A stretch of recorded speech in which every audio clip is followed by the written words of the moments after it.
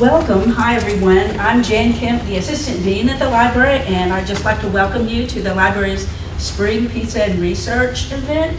Um, today, we're really excited to have Dr. Bryan Gervais talking about, as you can see, political incivility in the digital age. Before he gets started, I'd just like to ask a couple of favors. You'll probably see that we have evaluation forms on your sheet. If you could please fill those out, we would really appreciate the input. And also, if you could let us know uh, in the comment area how you found out about the event, um, that would help us invite people in the future. Um, and so, uh, without further ado, I'd like to introduce Deanne Ivy, who's our coordinator for open education and our social sciences librarian. Welcome. I'm really excited to introduce our speaker today, Dr. Gervais. So I'd like to give you guys a little bit of info about him before he starts. Um, Dr. Gervais has his PhD from the University of Maryland, and he is an assistant professor in the Department of Poli Sci and Geography, and he's also the coordinator of the Digital Pol Politics Studio at UTSA. Um, Dr. Gervais researches and teaches in the areas of political communication and political psychology um, and with a big particular focus on the effects of uncivil political discourse.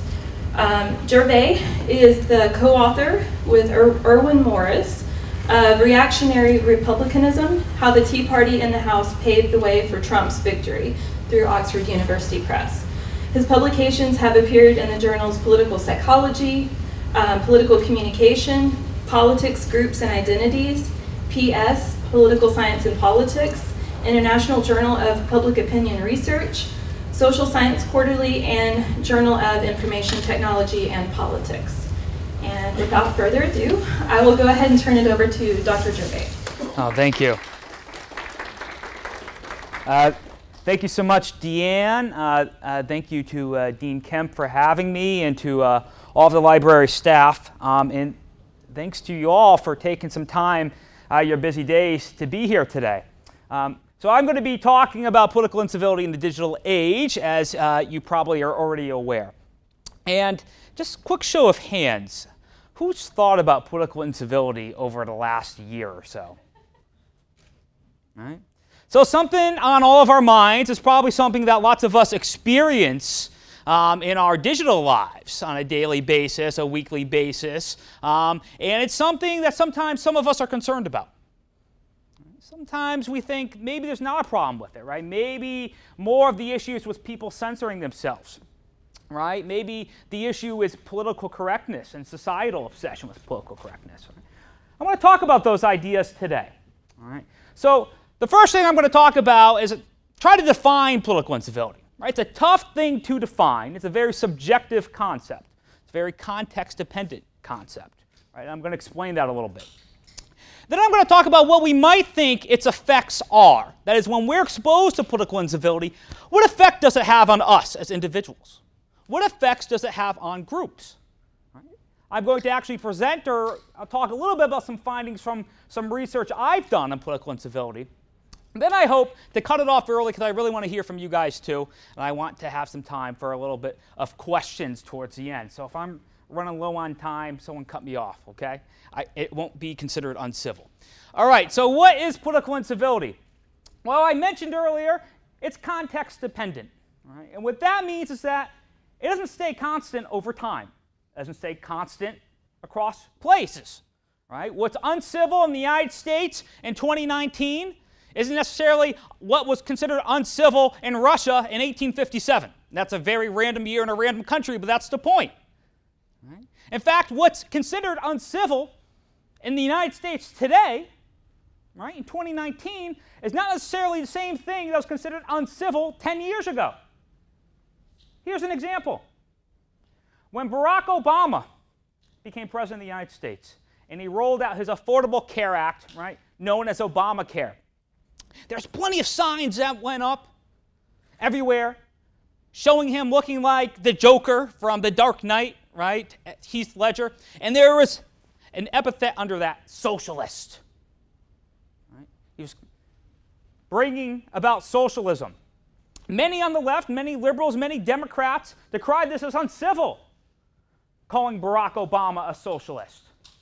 is hyperbolic, misrepresentative of his actual positions. Then 2016 comes along, and we had a surprising candidacy of Bernie Sanders, right? Going toe to toe with Hillary Clinton to an extent for the 2016 Democratic national nomination for president. And Sanders identified himself as a Democratic socialist. And now we've got a new slew of Democrats in the House of Representatives, including AOC, right, who call themselves Democratic Socialists. They've adopted the term, right? So what was once called uncivil, right, the term socialist, has been embraced by others. It's still not clear, right? If you call someone a socialist, is it uncivil or is it not? Right? So it's very subjective, and it very, very much depends on context and time. That said, there are some common types of uncivil discourse. And I define incivility, or at least political incivility, as this rhetoric or discursive behavior, right? The way we act when we're talking politics, right? Uh, that's meant to demonstrate a lack of respect, and I bolden that because that's the key element, right? For opposing political groups or viewpoints.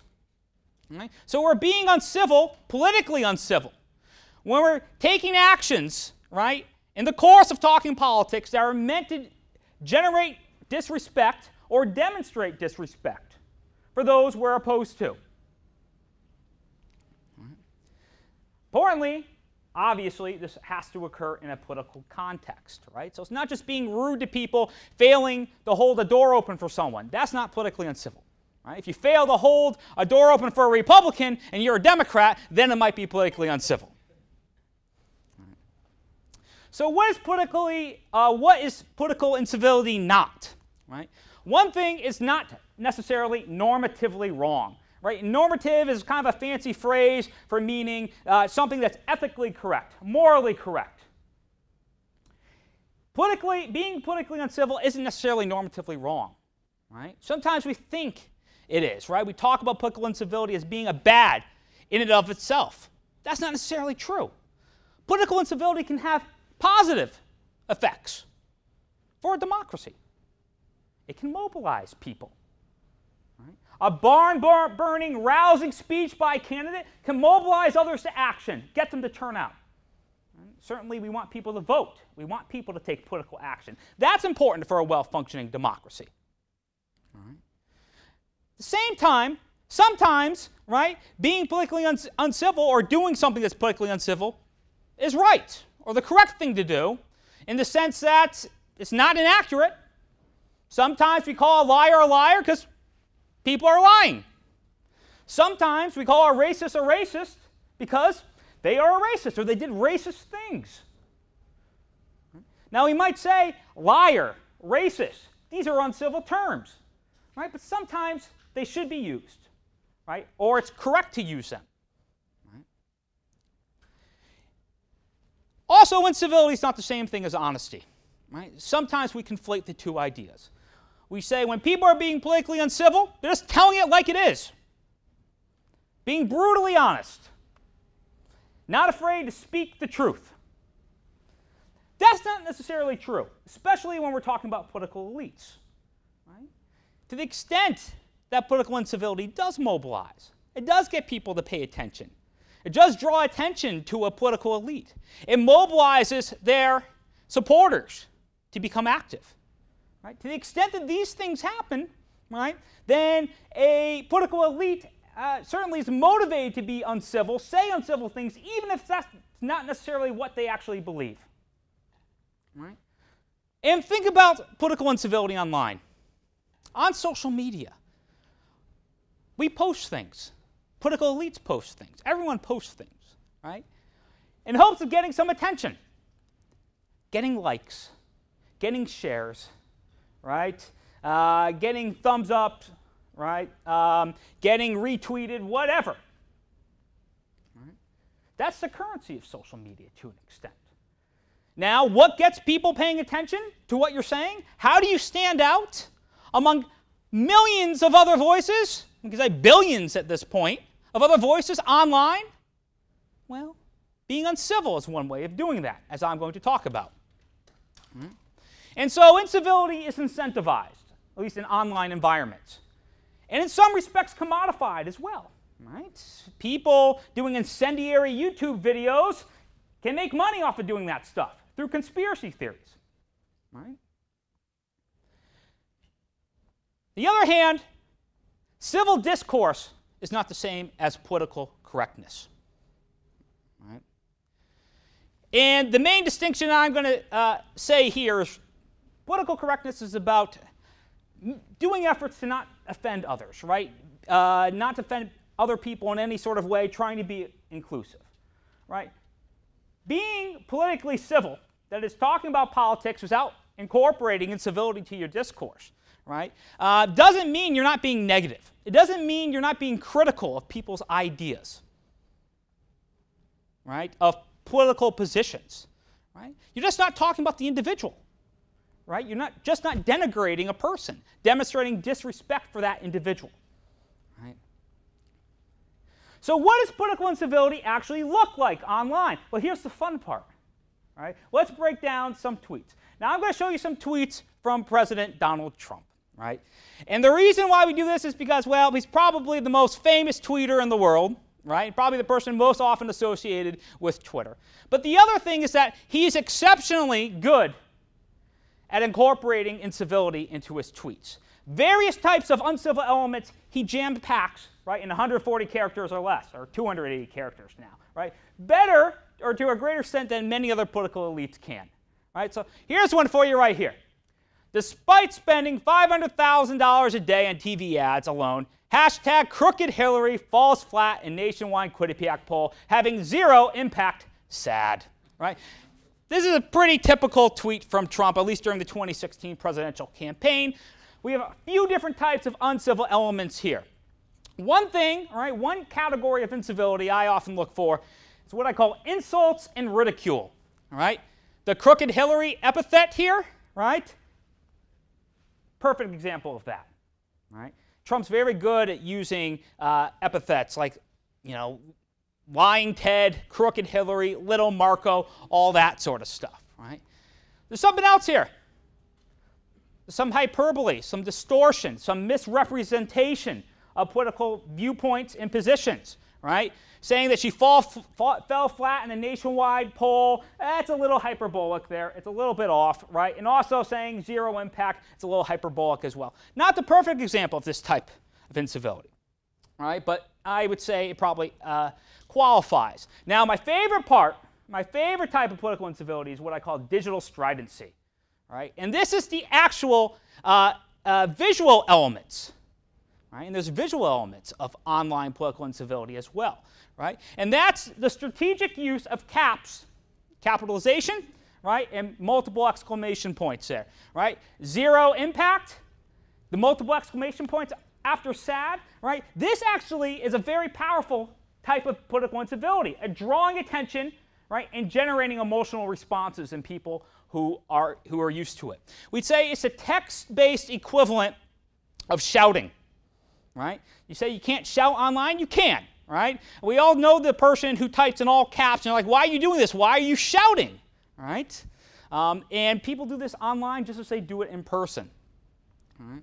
Here's another example. Little Marco Rubio gave amnesty to criminal aliens guilty of sex offenses disgrace. Right? Again, we have the epithet, right? The insults, the mockery. Little Marco Rubio. Right?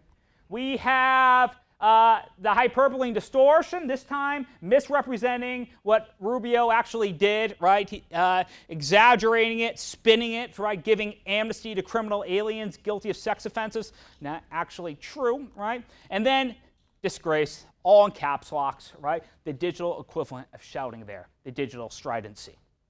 Mm-hmm.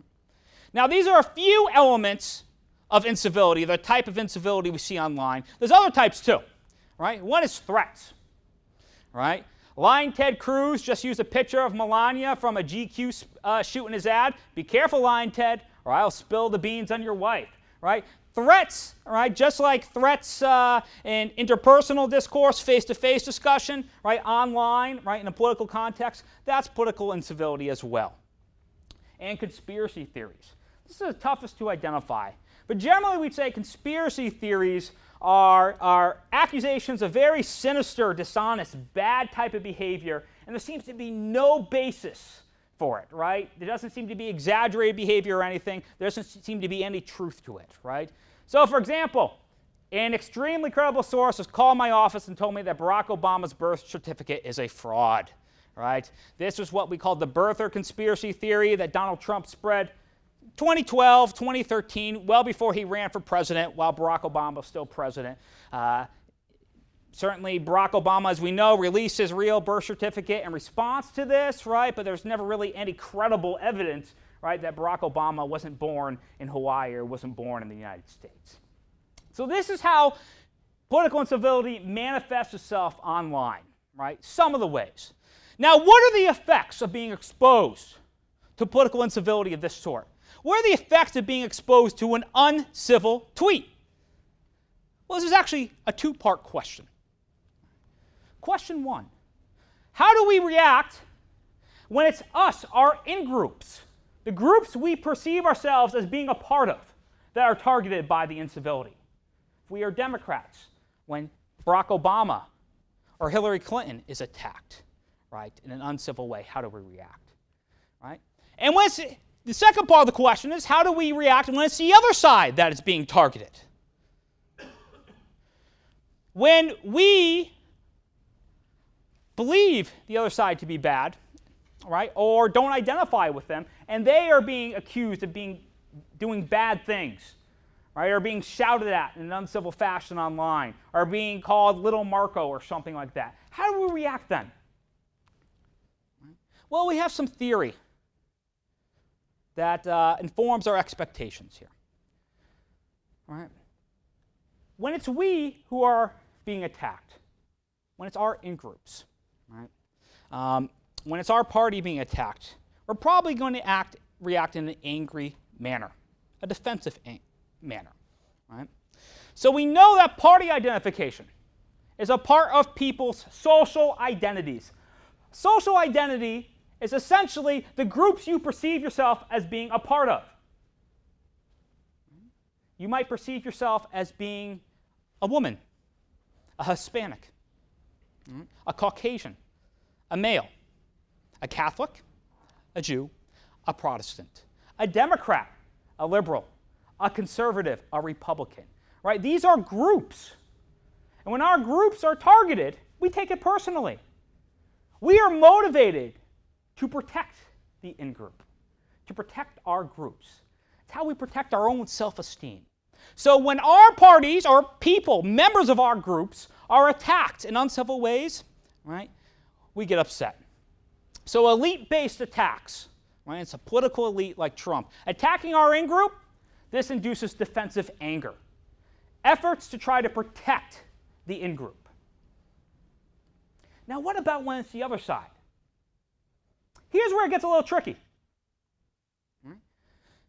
Some research suggests, well, when like minded elites, as people who are part of our in groups, attack the other side in an uncivil fashion, that also might motivate anger, generate anger. Think about it. We think that when people tune in to opinionated partisan media, right? If you are a conservative or Republican tuning into Rush Limbaugh, or Sean Hannity on Fox News, right? Or a Democrat liberal tuning into the Huffington Post, right? Or MSNBC, and we hear the other side being bashed, right? We hear the other side, we hear about all the bad things they're up to. We get upset, we get angry. We get our pitchforks, right? And go looking for them, right? This generates an angry mob mentality. That's the expectation, at least right? That like-minded, right, uh, media, news media, opinionated media also motivates angry behavior aimed at the outgroup. Right? It also sends a message that discriminating against the outgroup is called for, necessary, appropriate. Right? It lowers our esteem for the outgroup. Right? These are some of the theoretical expectations. Right? Let's see how it actually bears out. I've conducted some experiments. Right? And in a typical uh, experiment, um, sometimes I'm exposing people to tweets, fake tweets, though, right? And when I'm manipulating, it's the direction of the tweet. Is it coming from a Democrat or a Republican, right? And the presence of incivility. So take this tweet. This, uh, this is a fake tweet, one that I invented. It appears to be coming from CNN, right? And this tweet is what we call a control tweet. It's the control group here, right? CNN, when I did this experiment, it was early 2015. CNN was considered more of a neutral uh, uh, outlet at the time, right? Since then, it's fake news and all blah, blah, blah, blah. It's become much more partisan. At the time, though, views of CNN were a little bit different. Right, so the tweet here, right, seems very innocuous, very straightforward, and that's the point, right? Let's talk about transportation, which isn't a very controversial subject, and that's the point as well, right? So the tweet reads, several new national transportation plans are being considered. Tune in to learn what policy experts say is good and bad about each. Now, some people might have been randomly assigned to see this neutral tweet that's not supposed to really induce any sort of effect at all. Others, however, saw partisan tinged tweets, meaning they had a more partisan direction to them, but they're still civil. So, some people saw this one apparently coming from Chris Matthews, who hosts a show on MSNBC and can sometimes be uncivil. And Matthews said, a new national transportation plan is being considered by Republicans. Ah, so now we're talking about a plan by Republicans. Tune in to learn why policy experts say it will not work. So there's a negative aspect to this now. We're being negative, we're being critical, still pretty civil though. Others were assigned to see this tweet.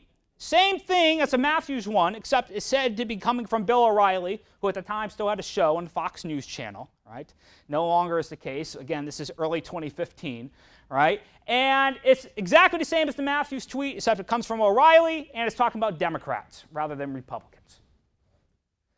Others saw uncivil versions of these two partisan tinged tweets, right? So here's the real fun part, is trying to take these tweets and trying to make them uncivil.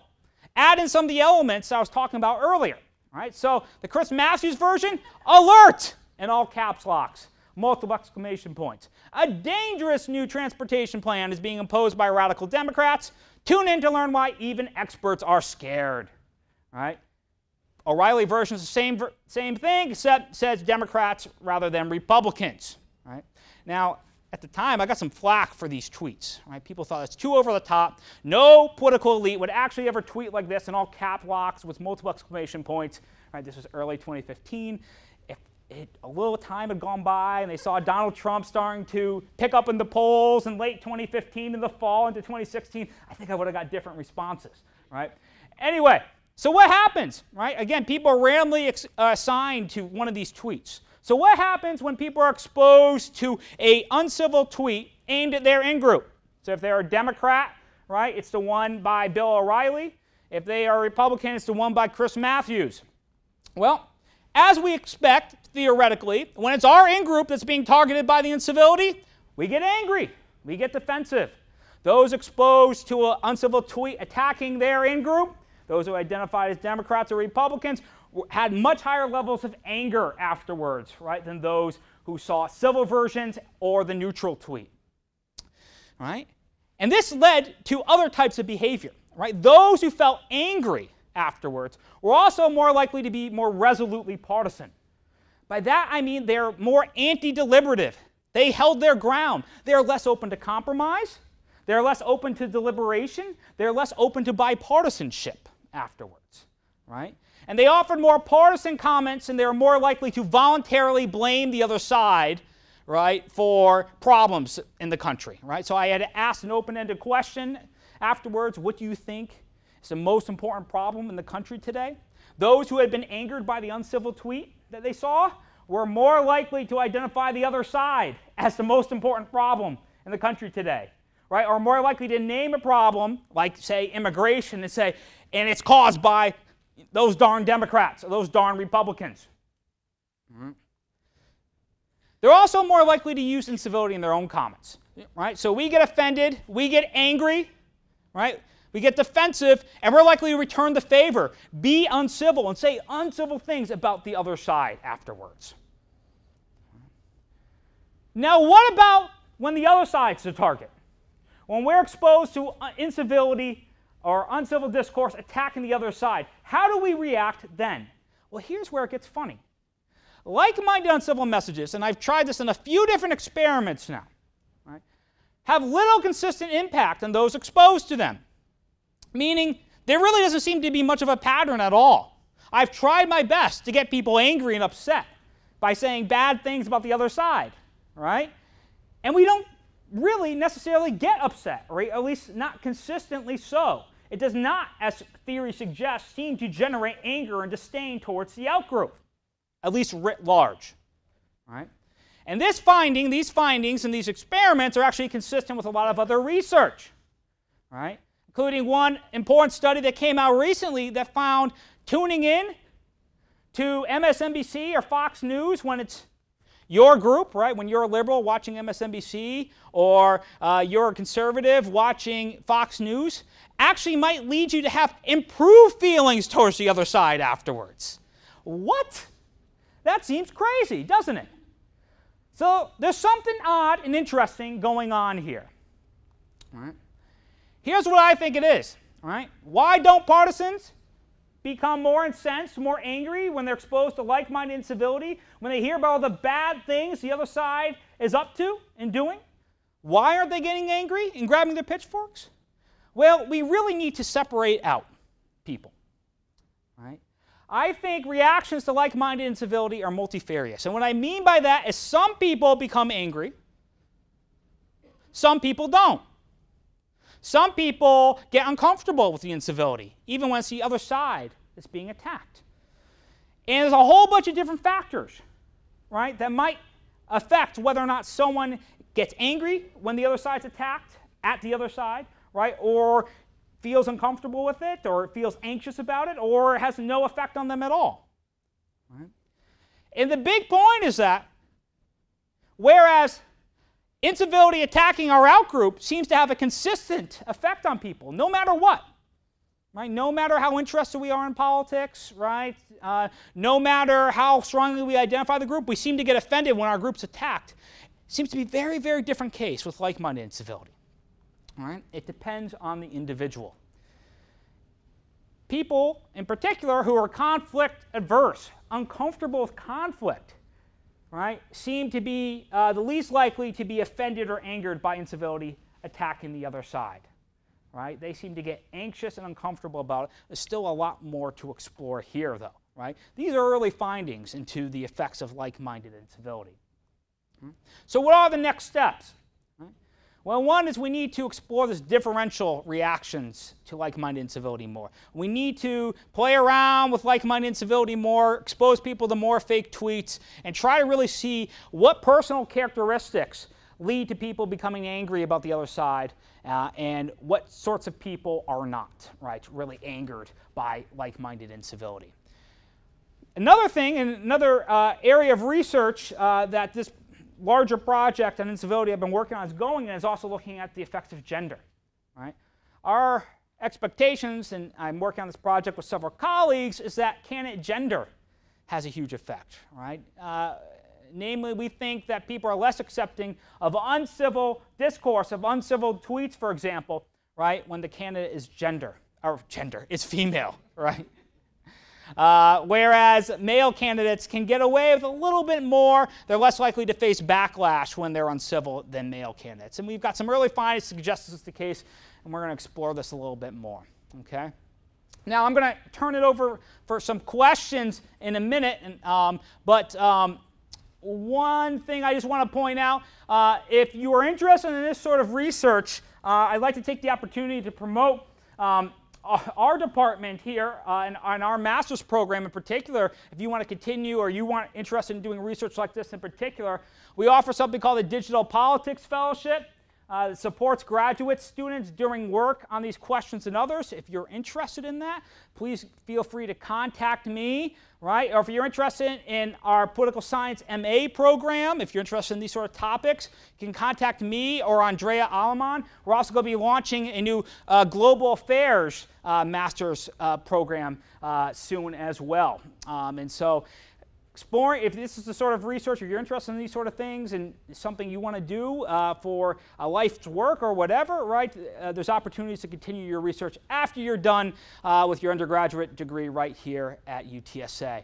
Also, if you're interested in supporting the fellowship in some way, you can contact me, um, and I can tell you more details about that. Okay? So that wraps up me. I think I've talked a lot. I really want to hear from you some comments and thoughts, um, and so I will turn it over. Thank you very much for your patience and for listening and being here.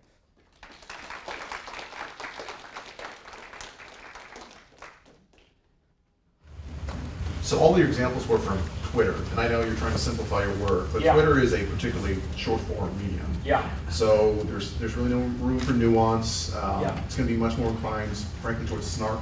Yep. Um, I mean, do these observations carry over rather well to longer form internet mediums? Yeah, right. And so, you know, at least in, in my research, I've exposed people to other things like press releases, right? Like a press release, you might see a, a candidate or an office holder send out through an email or something like that, which are a little bit longer than 140 characters and stuff like that. Um, and you have the same, uh, same sort of effects generally, right? When it's uh, aimed at the in group, it generates anger, you get upset about it. Um, and when it's uh, uh, aimed at the out group, it's less clear.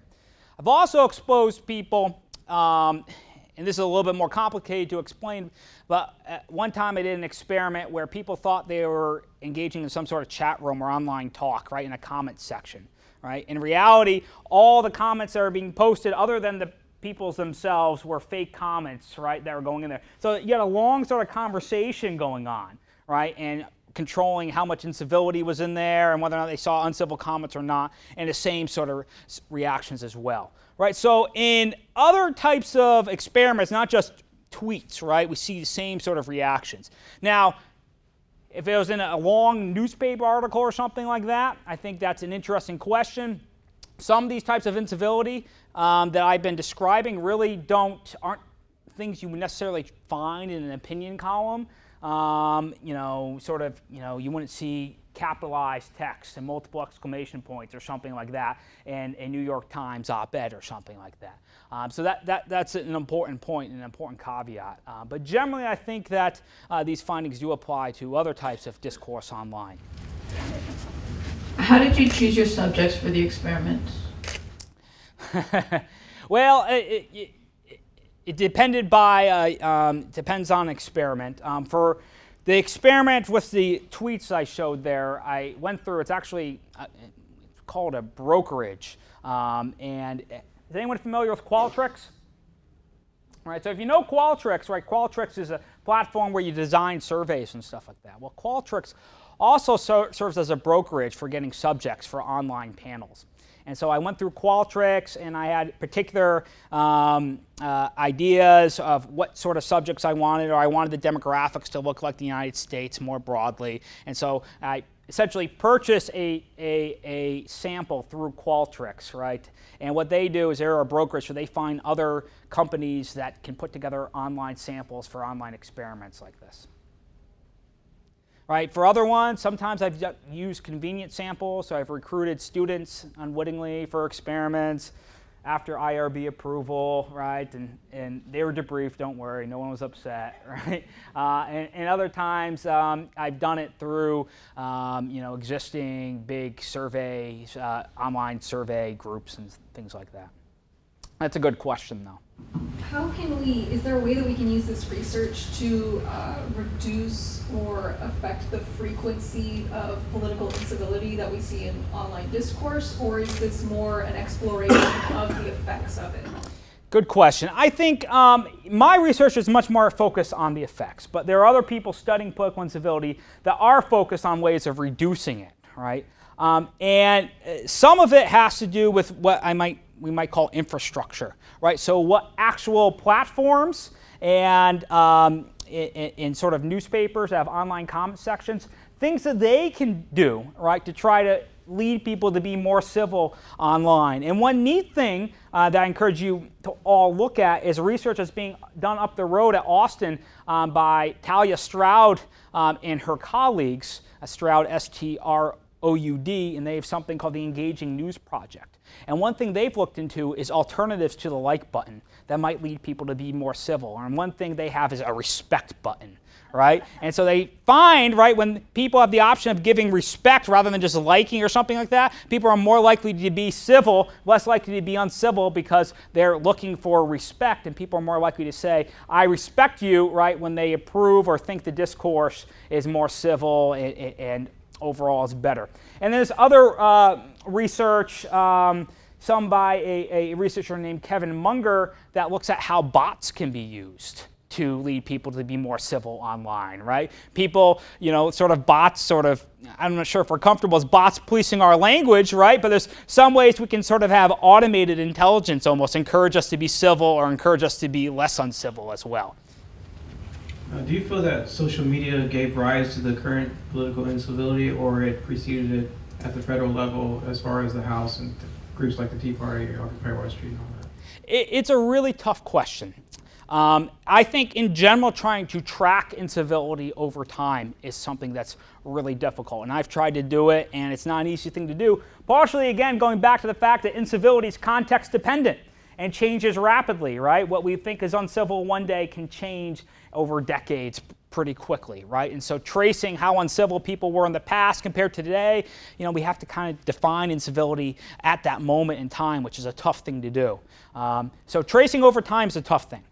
That said, what I think uh, social media has done is just changed the way we are exposed to political incivility. Not saying that we're, people today are more uncivil than people were in the past, but we're more likely to encounter it on a day to day basis than we were in the past, right? And uh, we are more likely to use incivility when we're talking politics online than we are in face to face discussions. So, as more, as, our, as more of our political discussion becomes digital, the more time we spend online talking politics rather than face to face, more likely we are to use incivility, right? And at the same time, we're more likely to see it, right? In our day to day lives as well, when we log on, we see somebody, people we don't even know, right? Trending for some reason, saying uncivil things. Does that make sense? Yeah. what effect does the political echo chambers that people find themselves in nowadays? In other words, like as someone on Facebook likes conservative viewpoints, they'll Yeah. get more conservative viewpoints and vice versa. Same with YouTube. That's a great question. And that's the complicated thing, right? So that's what I was talking about with like minded incivility, right? We, we think that being exposed to constant bashing of the other side, right? Being exposed to viewpoints that align with our own would lead to more disdain towards the outgroup, right? The other side. Um, but when we expose people to at least comments, right, that align with their in group, when we expose people if they're, you know, like uh, Bill O'Reilly, right, or they're aligned with Bill O'Reilly, they're conservatives, when we expose them to tweets of O'Reilly being uncivil, they aren't necessarily more angry towards Democrats afterwards than people who never saw that at, at all. So, partially, this is a tough question, right? Because we can't really tra- uh, trace the impact that uh, being exposed to Bill O'Reilly for an extended period over time has over people, right? So maybe if you watched O'Reilly or you watched Hannity for a period of five to 10 years, right, your disdain towards the outgroup, towards Democrats, would be much higher than otherwise. And we're not going to really capture that by exposing people to tweets in a single moment in time. So that's the tough part, right? But generally, I think it's an open question whether or not like-minded incivility, um, at least uh, online or even in, uh, you know, uh, uh, you know, the conservative echo chamber or the liberal echo chamber, to the extent that one exists, generates disdain to, uh, towards the other side is an unanswered question.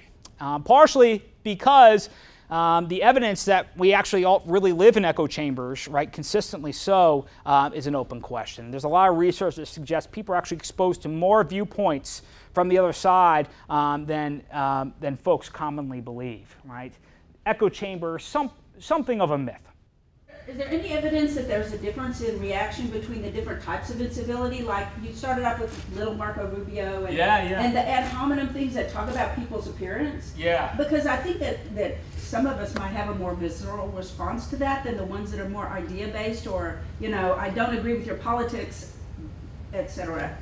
Can you tell if there's a? I, I think that that's a great question. Um, and I think it makes a lot of sense to break out the various parts of incivility, right, and, and study uh, the different types and see what sort of effects they have on people.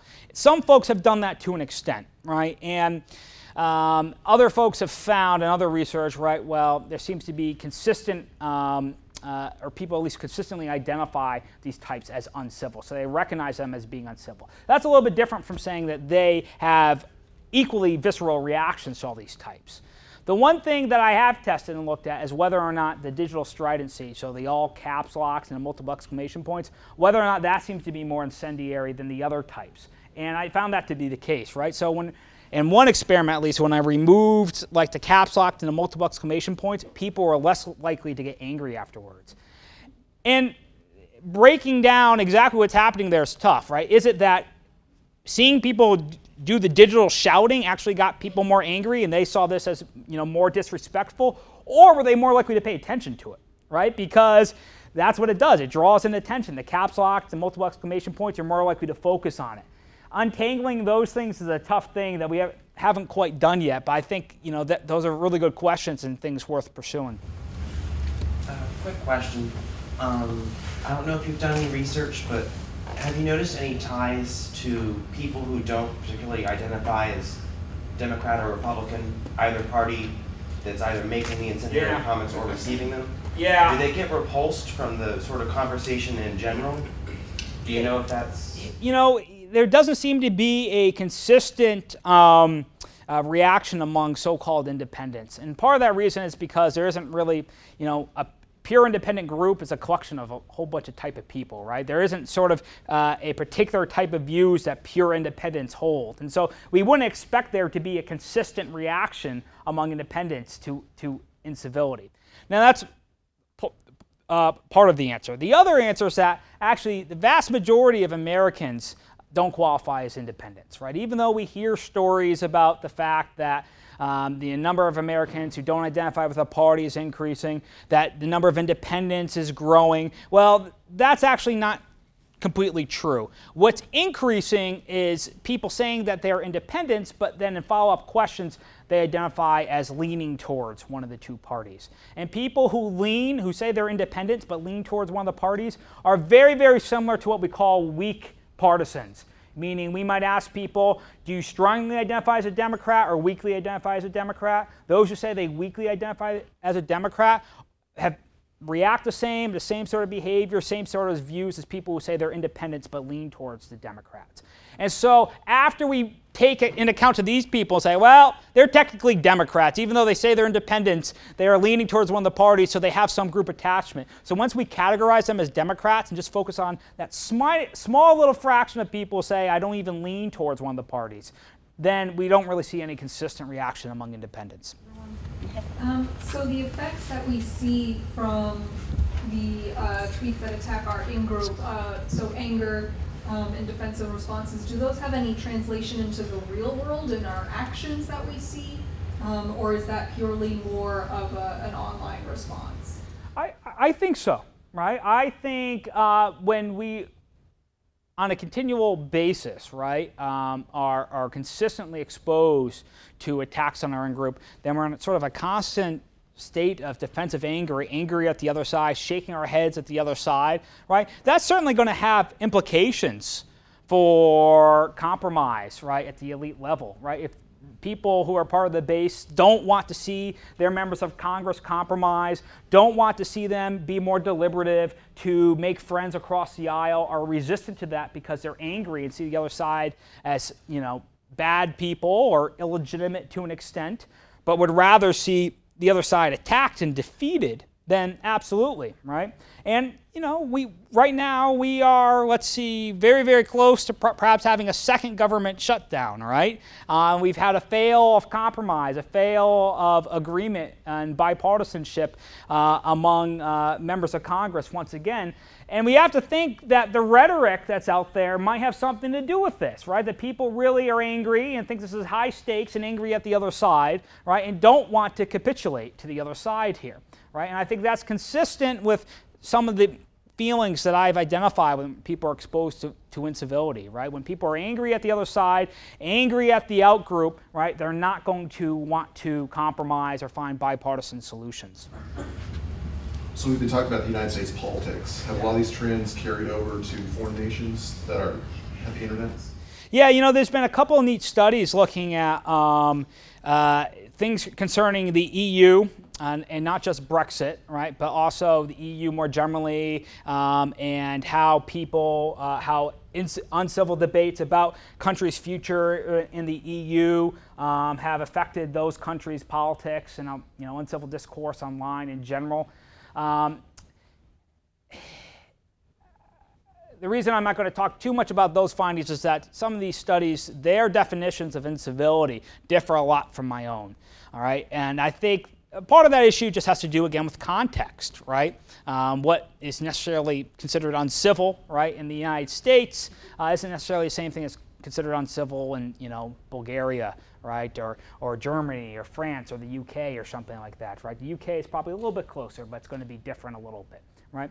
Now, in general, though, I think my definition of incivility, right? I think of saying uh, or, or, communicating disrespect to the other side, I think that's probably pretty universal, right? When people feel that their in-groups are, are being attacked and their in-groups under attack, they are going to um, probably be defensive and feel angry, just because that's a universal principle of social identity, right? And group, ide- and, and, and group identities. When our groups are attacked, we get defensive, we feel anger. Although I haven't specifically looked at how incivility generates these reactions outside the United States. That's a good question.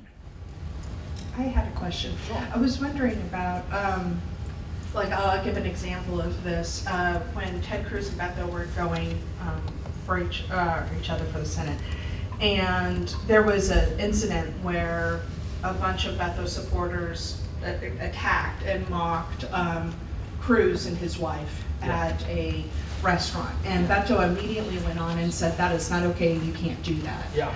And I was thinking about other times when um, Michelle Obama, her thing of when they go low, we go high. Yeah. Have there been examples of um, political people who have tried to stop that? And is there anything that has indicated that that's particularly helpful?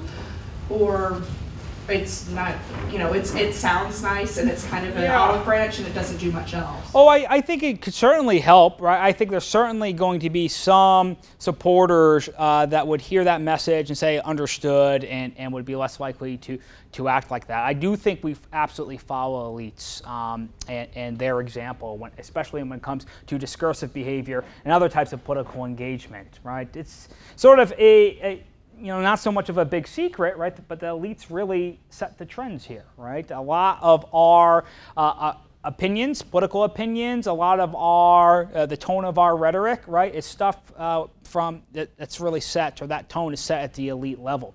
And so well, I think when political elites can step in and say, mm, that's not acceptable, let's not do this, um, that, that can probably have a, a, a, positive effect, right? As long as they are leading by example, right, and being, being civil in in their own discourse, to the extent that we think this is a problem. I would say probably the most infamous example of this occurring was in the 2008 uh, presidential campaign trail when John McCain um, uh, who at that time was the Republican nominee uh, for uh, president. Uh, a few times uh, there was sort of a mic being passed around at his campaign rallies, um, and people said some incendiary things about Barack Obama, and, and, John McCain would take the microphone and sort of correct them. And when and when Senator McCain recently passed, there was one moment that's getting played on the news a lot of when um, you know a, a woman was accusing him of you know basically well there's a whole lot of things tied in here, right? But saying, well, he's a Muslim, he hates America, blah, blah, blah, blah, blah, right? And not that these are, you know, of course, not identifying a Muslim is a bad thing at all, of course, right? But McCain took the microphone and was just like, no, not this. He doesn't hate America and all this. He's a good family man. So that's probably the most infamous example, I think, of somebody, um, uh, you know, sort of stopping supporters and sort of encouraging sort of good behavior. Um, but I don't think that behavior is in you know, particularly in vogue right now among uh, elites on, in either party. Okay, well, thank you very much, Dr. Gervais.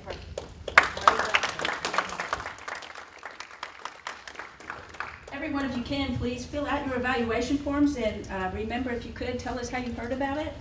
And Thanks so much for coming.